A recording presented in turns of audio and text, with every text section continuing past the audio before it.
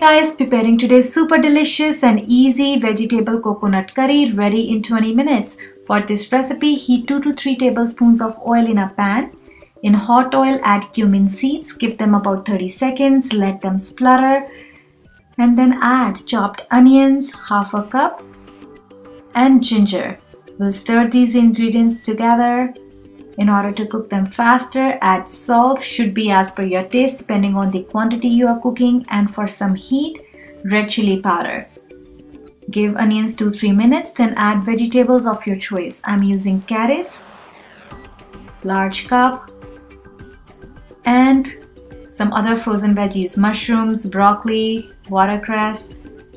Stir the veggies, give them 2-3 minutes, let them become tender, then add curry powder, 1 large spoon. Then finish off everything with coconut milk. 1 can here, we will also add half a cup of water and we'll bring coconut milk to a boil and then let everything simmer for 10-15 minutes until the veggies become soft and tender to your liking. We'll finish off our dish by seasoning it with pepper.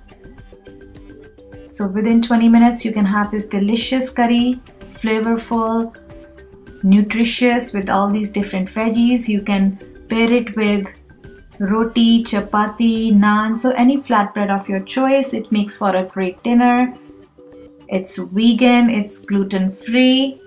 I personally like enjoying it over rice, so just boil some rice, add in this curry and have a delicious meal.